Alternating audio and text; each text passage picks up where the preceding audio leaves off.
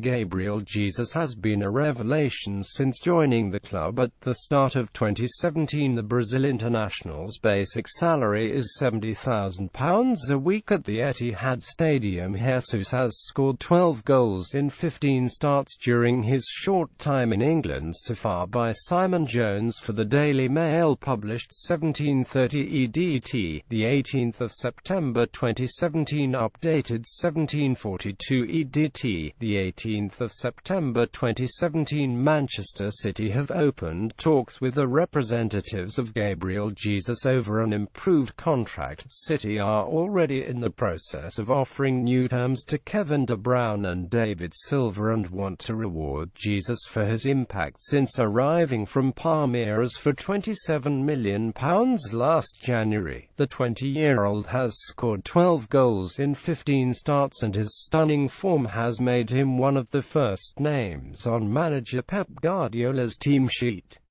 Manchester City are set to improve Gabriel Jesus' current £70,000 a week contract. Jesus has been a revelation since joining in January and City want to reward him for his impact. Jesus has elevated himself to one of Guardiola's most significant performers and has exceeded expectations by the speed in which he has settled into the club and the Premier League.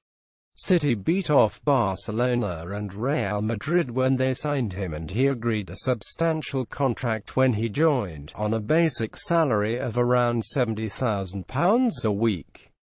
His current contract runs until 2021 but the Premier League leaders want to acknowledge the improvement he has already made and increase his basic wage and improve his potential bonuses. Jesus has five goals in six City appearances in all competitions so far this season. The 20-year-old Brazilian international has scored 12 goals in 15 starts for City overall.